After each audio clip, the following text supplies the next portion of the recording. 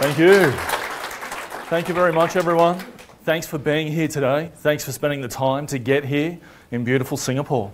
And today uh, we're talking SEO for business. All right. So before I start, I'd like to get an idea of who I'm talking to. So would you be able to raise your hands if you know what SEO is? If you know what it is. All right. And why don't we keep them up, keep them up, keep them up? I didn't say put them down yet, right? Keep those hands up. Why don't we, and I want you to keep your hand up if you've done SEO. And keep them up if you've been paid to do SEO. All right, cool, excellent, thank you very much. That gives me a real good understanding of who we're talking to today. Because when you're paid to do SEO, and you know, a lot of us hear about it, but it, it does give me a bit more of an understanding of who I'm talking to. So you've heard my introduction today. My name's Matt Knighton. My beautiful wife is down the front here with me. We run MRK WP. We were called Divi Framework not long ago. We niched down into Divi, and unfortunately, Divi has a trademark on it. And I faced a bit of a disaster with the fact that we had to change our name because I realised my name was trademarked by somebody else. Not a good day. When I realised I needed to change that, I wrote about that on the blog at mrkwp.com. Now, while we've got that in our minds, mrkwp.com, you can go there and access all my slides straight away. It's already there. All my notes are there as well, as well as links to different things for every single slide, okay? So as we go through this, you're going to be able to get all the information that you need. Go to mrkwp.com forward slash blog. It's all there completely for free. You don't have to do anything, no affiliate links, just enjoy. All right? But let's get into it today. So I've got heaps of years' experience in HTML, CSS, and JavaScript. I actually started coding when I was about six years old. My dad taught me to code on a VIC 20 with BASIC on the Commodore VIC 20. That's before the Commodore 64. And he taught me how to make times tables applications and a few different things. And then I learned DOS. And so my comfort was the green screen, black screen kind of thing with the green text. That's my happy place. And it's still my happy place. All right? But I know all this HTML, CSS, and JavaScript, so why did I get into SEO? And it simply comes down to this it's the best way to get business results. You see, we were building websites, good code, nice designs, and no traffic. And why? Because we didn't, I didn't understand SEO. You know, and without this key part, we're doing a discredit to the rest of our work. All right? We're doing a discredit to it. So today we're going to go through a basic understanding of getting business results with SEO. What do you need to know and what do you have to do? Okay? So first of all, we're going to say, what is SEO? I'm going to bring in some new terms for you, all right? Because we've kind of complicated it a bit because most of us have been nerdy, pasty skinned guys with a death metal shirt on that sits in the corner coding away with this ultra big gaming headset on and he's coding away aggressively. And whenever you ask any question, he's like, idiot, as if you don't know. No, not, I'm not that kind of guy. I love sharing, which is why I'm here today, right? So we're going to go, what is SEO? What makes the best page for SEO? You know, why does Google pick the top page? We're going to go into that. What is good content? What makes a fast page? How do I measure my results? How can social media help my SEO? And where do I start? All right, where do I get started? So let's get into it. First of all, what is SEO? Because it's not some kind of magic. I don't have to get a wand or go to, you know, for those people that are Harry Potter fans, I didn't have to go to Hogwarts to learn this. All right? It's not magic. It's simply some simple logic. And what helps us understand what is SEO is why do we have SEO in the first place? Let's think about this. Why do we have SEO? You see, because it really comes down to this search engines want to deliver a great experience. So in Australia, we have a term. Do we have any Aussies here? I know we do have a few. All right, so for the Aussies in the audience, you all know this phrase when we're at a barbecue and nobody knows the answer. What do we say? Google it. That's correct. In Google, we trust. All right, it's no longer in God we trust, in Google we trust. And we all assume Google gives us the correct result, don't we? Anybody assume when they do a Google search that it's wrong? No, right? We all assume it's right. And what we have to remember is Google, when you, they send someone to your web page, they're referring someone of their trust to your website. It's a referral, isn't it? They refer somebody over. It's a business relationship of a referral. So at the end of the day, Google sends their customers for free when we do SEO correctly. So, how can we refer somebody? I have to trust them, don't I? You don't refer people to things you don't trust. So, if I've got a spammy looking website, Google doesn't trust me because my website's crap, right? So, they're not going to refer. So, at the end of the day, SEO is the ability of communicating how trustworthy your website is with Google. And they tell us in some cases what we need to do. All right, that's what SEO is. Is earning trust with a search engine so you can get that traffic. And how do search engines understand if they can trust you? What do they do? They use these things called algorithms. So for those of you who don't know, Google has these things called robots, spiders or crawlers. Take your pick, right? But basically, Google goes around the internet looking at all the different pages, it grabs your page and sends it back to their data center. And in that data center, they run algorithms over this index of data. And to understand that data, they use algorithms. The first one was that famous one where they looked at links. The founders of Google were in a library one day looking at white papers, and they said, How do we know which one's worth reading? I said, well, surely it's the one that's been cited by other leading thinkers the most. Hey, what happens if we did the same sort of thing with web pages? And they started to count links and say, hey, the number of links you have to a web page, if a lot of people are linking to a page, that must be an indicator that this page is good. And that's really the birth of the first algorithm that was called the PageRank. Now, since that time, they've come up with all sorts of other algorithms. Panda, that was a, a doozy of an update, that one. De- detected duplicate content. A lot of people in WordPress got hit by this one up here because we end up with duplicate content in WordPress. How? Well, your category pages, tag pages, things like that. Everyone gets tag happy. Anyone got any tag happy customers that use their, yep, you know what I mean, right? They put hashtag this, hashtag that. They think they're on Twitter. And you have to say, no, you're on your website. You don't need five variations of the same tag. You just created five pages with links to this stuff. That's duplicate content, right? Penguin, well, that detected fake or duplicate links or links worth nothing. There's no point linking to your butcher's website from Plumbers R Us. It doesn't cut up, does it? Think about it. Why would a plumber be linking to a butcher? That doesn't make a lot of sense. I guess maybe he did the plumbing at the butcher's. But you see what I mean? Like, there's not a lot of sense there. So that's what this one does. Hummingbird was another one. That helped people understand intent. A great example of intent.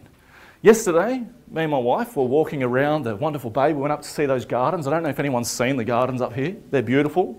I'd encourage you to go take a look if you haven't seen it yet. And on the way back, we said, hey, let's get a Starbucks coffee. So I said, Starbucks. Now, because of the intent of the search, Google gave me directions to Starbucks. It didn't give me a 2,000 word essay on Starbucks, on the founders.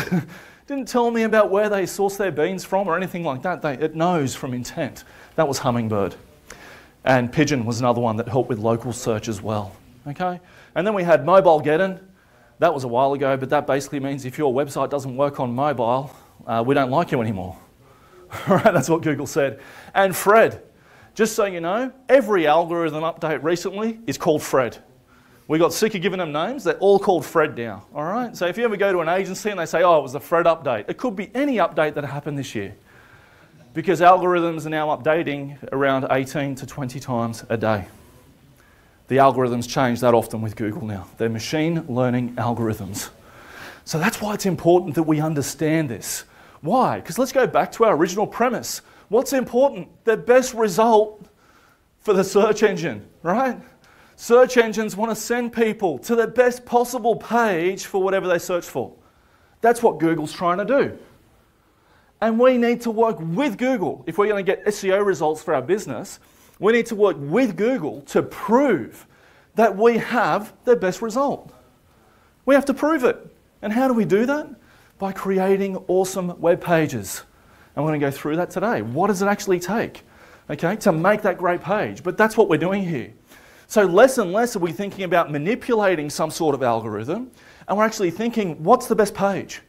How do I make sure that I'm giving my potential clients the best possible experience? That's what SEO is really all about. So, what does an SEO tech do? What would you say you do here? all right? So, what we do is we check your website against the algorithms and guides. There's all sorts of guides out there. If you go onto my website, there'll be links to some various things as we go through. But we basically look at your website and we say, what's broken? What doesn't go with the algorithms? What's Google telling us that we need to fix? They can be things like you've got no alt text on any of your images. You've got long sentences that are boring. You've got broken links. You've got duplicate pages. You've got images that are broken. You've got missing titles and descriptions on your page. All this kind of stuff, that needs to be fixed. And the higher quality we get, the better quality Google will pick up on your site. Pretty simple if you think about it, isn't it? So we fix those errors and recommendations that are coming from search engines, and there's great tools that help us do that. So what is SEO? It's making the best web page for a given search term to maximize referral traffic. That's what it is. It's nothing else. Forget all the other stuff. It's making the best web page for a given search term. And one thing I want to say really clearly is do not manipulate the algorithms. Don't try to manipulate it. What do you hope to gain? You're only going to get traffic from Google where people don't look at your page and leave anyway. If you don't have the right to be the first page, don't expect it. You've got to earn that referral, okay? Earn the referral. Make sure your page is actually worth linking to. And you'll find that people will actually link to it, okay? Pretty simple. So, what makes the best page for SEO? What makes the best page? What do you actually have to have? You know, 60% of your effort we've found should go into your content. You can have everything else done great. And we've had clients like this, mind you. All right, they have everything else done great. I know because we managed it. We have the top level scores on SEMrush and top scores on all the different tools that crawl the pages, fast loading times of less than three seconds on first load, under a second and a half for second load. We're talking a really great site, good mobile experience, but their content stinks. it stinks. And they, they can't really get over 10,000 unique users a month. They're struggling to get over 25,000, 30,000 page views a month. Because people, and they don't get repeat visitors because their content stinks. Okay? So you've got to make sure you get the content done first. It should be mobile friendly, it should be fast. The other stuff is technical. Offsite's things like links, you know? You need people linking to your content. So let's keep going, you know, because you've got to think about it. You just can't get top spot without that content. It's not going to happen, all right? It ain't going to happen. So let's think about this. You need to have great content.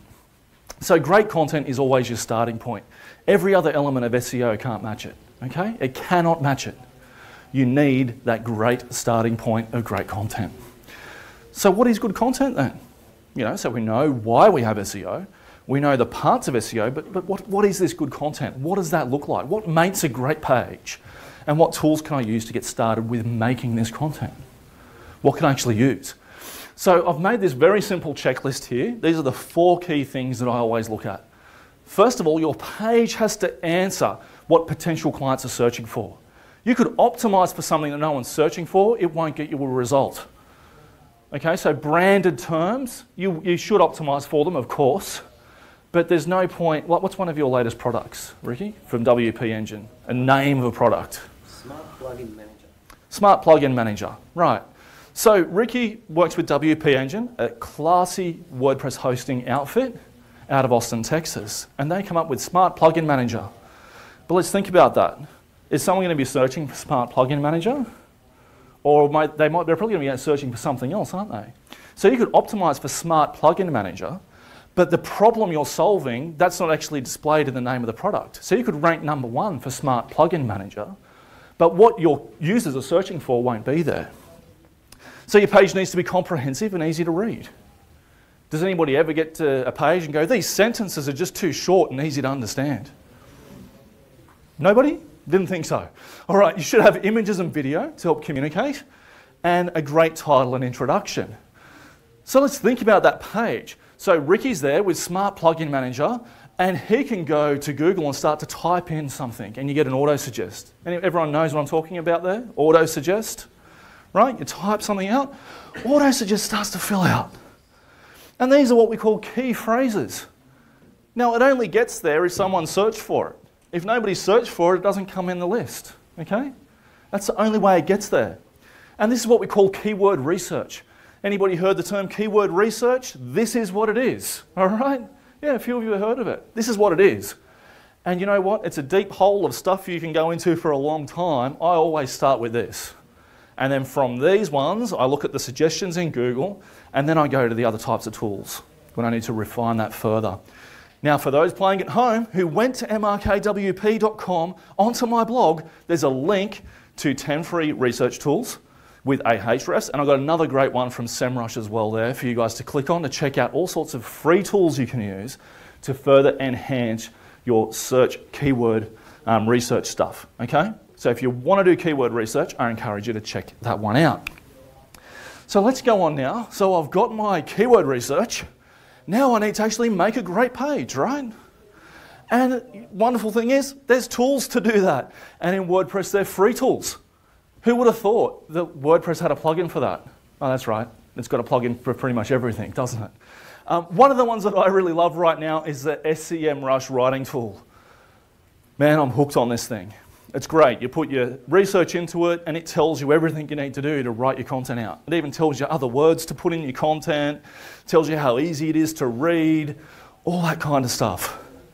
And of course, for those playing at home, on mrkwp.com, you'll be able to get some links to some great tools about what you need to do here. But let's just think about this.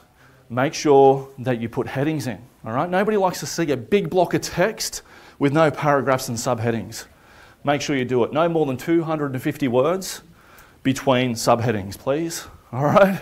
Nobody likes them longer than that. Keep your sentences as short as you can.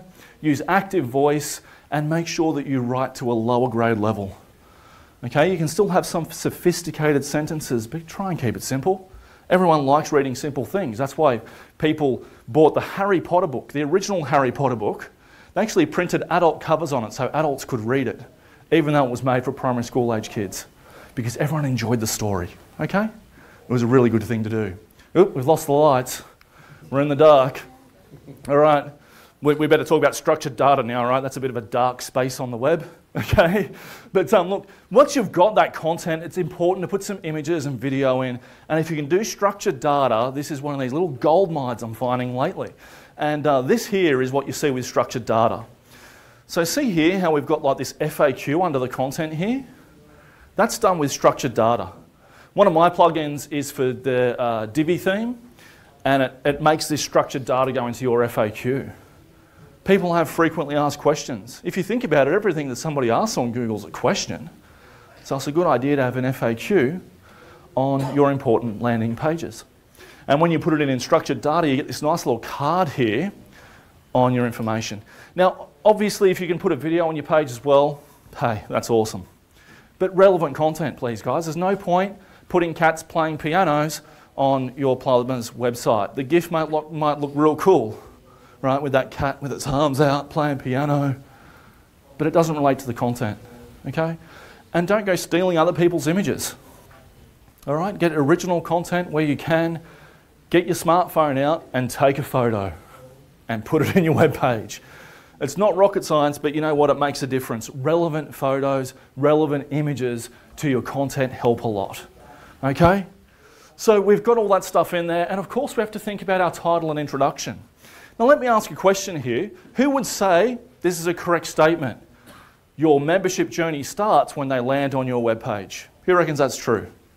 Anybody? Nobody. It's a bit of a trick question. Because the journey doesn't start there. If you think about it, the journey starts in Google. When they read the title and description of the text on your search link. And that's called a meta title and description. Okay? Now, Yoast has a great free tool. This is the example of it used, being used on Gutenberg. And you can see here that we've got the meta description being filled out. This is the words there. That's your ad. That's your free advert on Google where they're going to refer people through. Don't skimp on your titles and descriptions because that's your advert. All right? And you think about it just by changing this. I did a test on one of our posts and I went from 800 unique views a month to 2,500 just by updating the title and description to better describe what my page was about. That's all I did, nothing else. That's a lot of, that's not page views, that's users. All right? That's really cool. Two and a half thousand a month on one page. Think about what that would cost you with AdWords. At a dollar a click, you're already at two and a half grand for fixing one title and meta description. And for those playing at home, on an MRKWP on the blog, you can actually click through to some information about that. So, what have we got here? You're going to craft this great content. Let's remember this your page has to answer what potential clients are searching for. Your page needs to be comprehensive and easy to read, and people need to understand it. It should have images and video, and it needs to have a great title and information with that meta description so that people can actually click it. Remember, that's your ad. That's your free ad in the search results in Google. Get it nailed. So I've got this great page, but everyone needs speed, right? You need it to be fast. Nobody ever said, hey, this page loads too fast. I don't know if I trust it.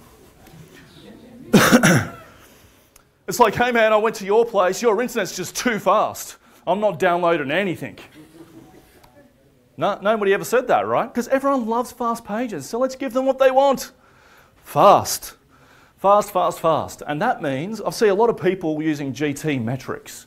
You guys familiar with GTmetrix? People know that tool. I love it. It's a fantastic tool. But one of the big issues is people focus on these two things. My website's got an A plus. I've got a YSlow score of, you know what, That's, that doesn't matter.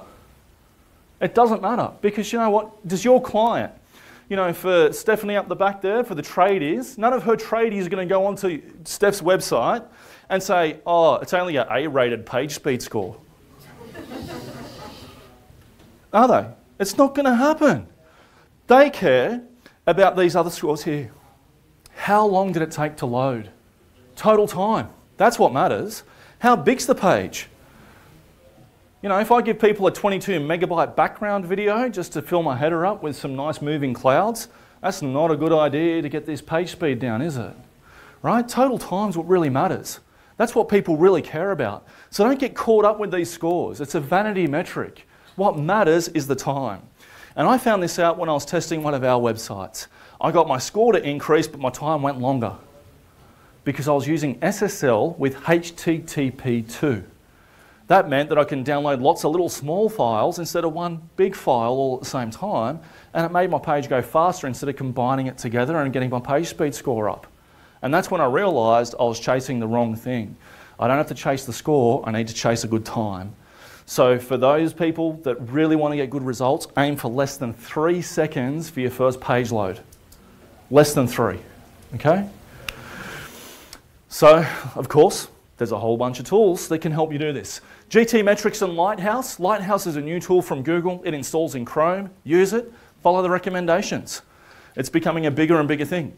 I use WP Rocket um, as a plugin just to generally give me a lot of real kick on my site to get me a long way forward to my page speed. It is premium, but I think it's worth it. Next, WP Smush. There is a free and a premium version of this. This optimizes your images, all right? So you don't end up loading like a 500 kilobyte image when 50 will do. Okay? Strip them down, keep them small. Um, next up, we've got one of the most important ones of all, and that's use a high quality host. I love Kinsta. Sorry, Ricky. WP Engine's cool too, but I've been with Kinsta for a while. I've found them to be great. I can solidly recommend them.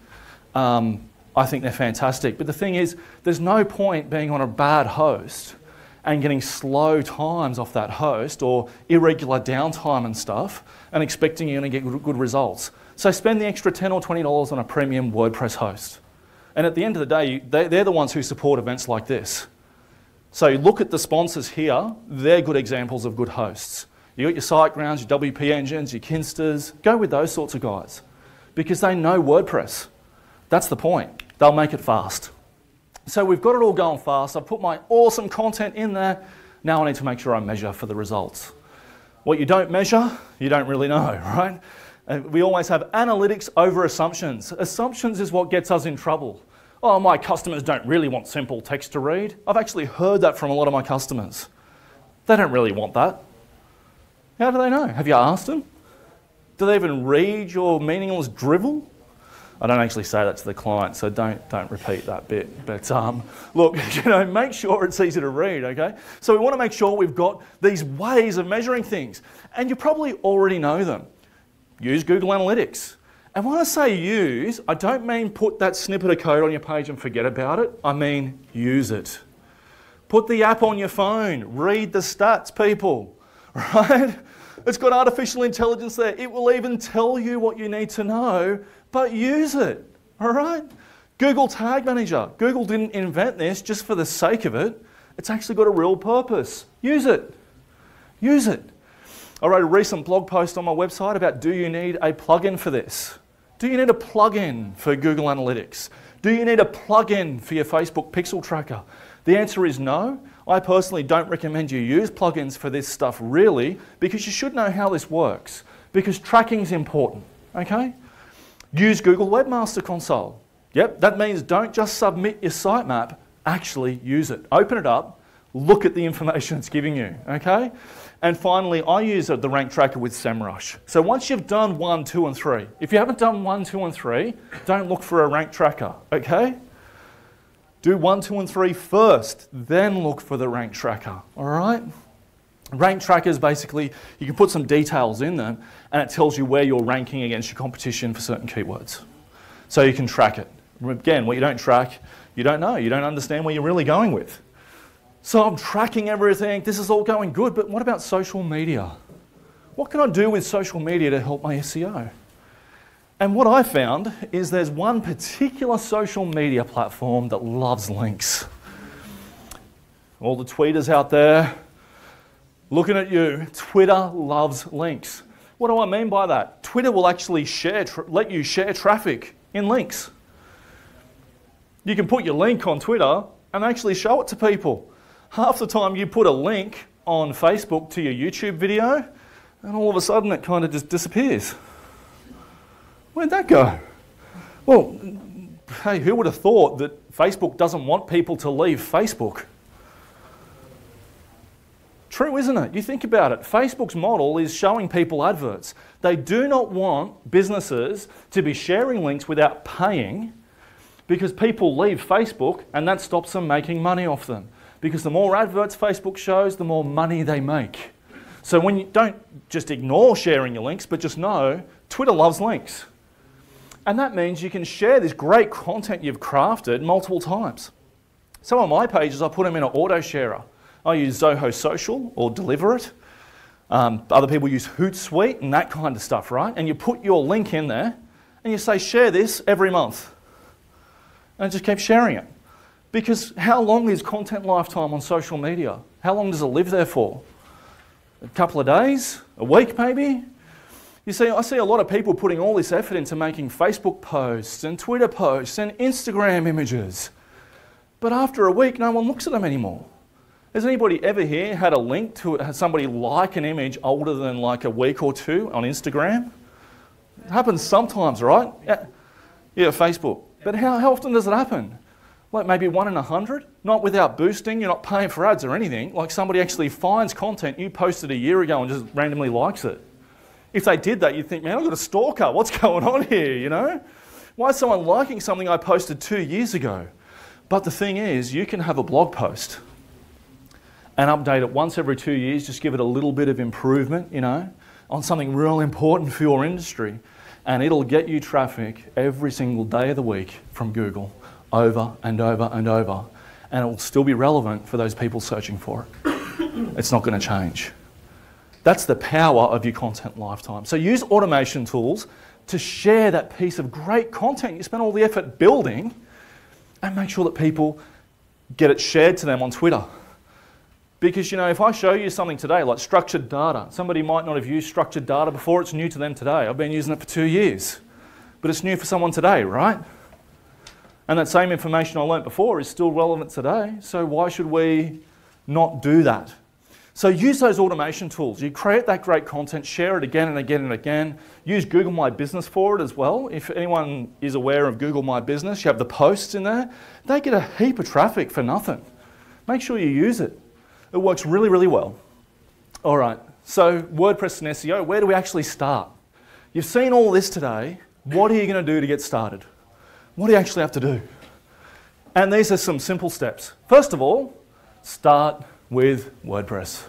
Up here, start with WordPress. WordPress actually, out of all the tests I've seen, gives you more of a result than anything else out of the box. It's, it's really quite a great CMS. It's such a wonderful piece of software, okay? Second up, let's make sure we get a fast host. Okay? If you don't have these two things sorted, then the rest of my advice is probably a little bit mute.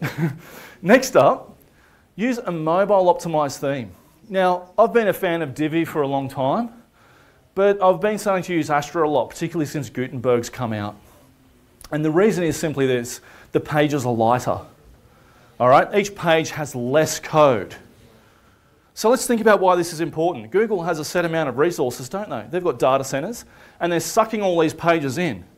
Now, if they've got a budget of how much processing power they're going to give my website, and all my pages are half the size, they're going to get through twice as much content of the same amount of processing power. You get what I mean? Because the pages are smaller, they're lighter, they're leaner. And not only is that better for my own customer because the page loads faster, but at the same time, Google likes it too. So look for something that's lean. I like Astra, it's a good place to start. If you can get something that's AMP compatible, I think AMP is worth exploring. Um, take a look at that. Accelerated mobile pages we're talking about. Install Yoast, that's free, great SEO tool. Um, I would encourage you to use SEMrush, that's free as well. And of course, once you've got these tools set up, fill your website with great content using the tips I've got today, and you'll be well on your way to getting great traffic. And look, that's it. That's how you do it. All right? So remember, focus on content and uh, ask me some questions. The only bad question is the one that's never asked. Okay, questions anyone? Okay. I'm Frank. Hi, Frank. Um, I, I have a website which has some technical products, Yep. and uh, they are sold in this region. Yes. So, from an SEO perspective, would it be better to have a, uh, a website, a domain which is local, or don't I need to care about that if I have a good comp that will still rank better for people searching this region? Yeah, the domain name extensions have no impact on where you're ranking. What matters is your citation and making sure your address details are correct. So that means um, there's a listing management tool that you can use in SEMrush, but you look at where your domain name is and where that business is mapped to. All right? Um, and within that, you'll be able to see hey, Google knows that I'm in this area, Google knows I'm servicing this region. So that's what matters. Your content, again, and doing the right structured data, that's what will determine um, that Google knows you're in the right local area. You're welcome. Down the front.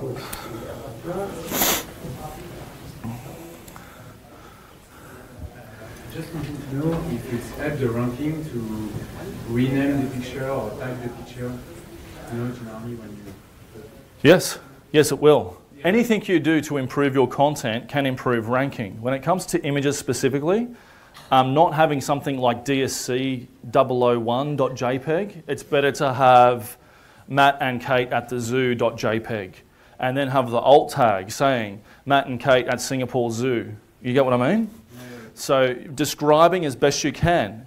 If you think about it, if you can look at something and not know what it is from any form in a machine, then you're better off relabeling that to make it so it's comprehensible. So names with hyphens for your image names is best.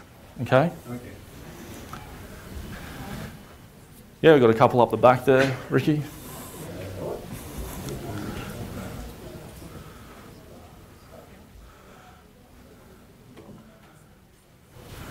Hi, Matt. Hey. Uh, that was good insight that Facebook, I mean, it's, it's obvious now, but it was a good reminder that Facebook does not like links out of Facebook. But why did you say that Twitter likes, links that probably Well, go out. the. Twitter's becoming one of the big search engines. So let's think about what Twitter is the number one in right now. They're number one in news that's now. So nobody ever says we're trending on Facebook, right? Nobody ever says we're trending on YouTube. They say we're trending on Twitter because Twitter, is about now information. And Twitter is used to share links by news sites. That's their bread and butter. So sharing links in Twitter, what I found if I share the same link in Facebook and Twitter with the same audience, I get more views in Twitter instantly for the same content when everything else is considered the same. Because Twitter actually wants you to use them as a kind of search engine for what's happening right now. That's what they want. That's what their speciality is. So for them, you finding content and using it as a search engine and going to the link is the same benefit that Google has. They're helping you answer a question about right now. Okay? Thank you. You're welcome. Hi, Matt. Hey. Uh, So I wanted to ask a question without making it sound uh, so so complicated, because working with users, one of the the difficult questions they ask, and something that you mentioned, uh, when their content isn't good, Yes. um, isn't that subjective uh, a lot of times? I I understand that you have the bullet points of, you know, what qualifies as as good content. Uh, But if you've spoken to anyone who's built their own website, they they all imagine that they have the best content that's out there. Sure. Well, all I can tell you is the stats prove it. That's when you say, let's look at the analytics. Because Google didn't come up with this because it's going to hurt their users, did they? Let's think about this for a second. Does Google want to send people to anything that's not proven? No. They keep the analytics. They're, they've got some of the best um, AI learning tools. They built TensorFlow. They're using Markov AI algorithms and all these different wonderful technology things with one purpose help us as Google understand how to deliver the absolute best result to search. So when somebody says, hey, no, my content's better than what Google says, they're actually saying, I'm smarter than Google. You know what I mean? Like to take it to that level. Now, it doesn't necessarily mean that Google always knows better with every audience. You can have things that are more formal or less formal in the way that you communicate things. And there's also things like trust. For example, Google will look at things like, hey, this guy's Matt Knighton, he's writing about a torn calf muscle and what he did to recover it. We're not sending anybody there because he's not even a doctor. He talks about SEO for goodness sakes, right? Because there's a level of trust there. So there is that factor to consider. And Google does factor that stuff in. They have a term called your money or your life. And anything that's in your money or your life, things like legal advice, stuff on divorce, things about medical journals, all that kind of stuff, have a slightly different algorithm applied to them about the way those businesses communicate because it's different. Right? Reading a medical journal is a heck of a lot different than reading something about my steps to do a kickflip on a skateboard, right? And the audience is different. So do your guidelines or those discussions that you have with your clients, do they generally fall then industry specific? They do. As a matter of fact, the SEMrush tool does apply those industry specific things in the writing tool. So if you put those types of keywords in there, it will automatically say, we encourage you to be more formal or more casual. We suggest you to write slightly longer sentences for this, and your content should be 2,000 words, not 1,000, because of the type of thing that you're targeting. Yeah, so it does take that into account. Yes, sir. Okay, we're just going to have to finish up the questions now because we have hit our tea break time. We've just Okay. got a quick announcement. Uh, so once the announcement, we can head out and have some refreshments. And grab me if you want to ask anything as well afterwards. I'm, I'm big, but I'm approachable, all right?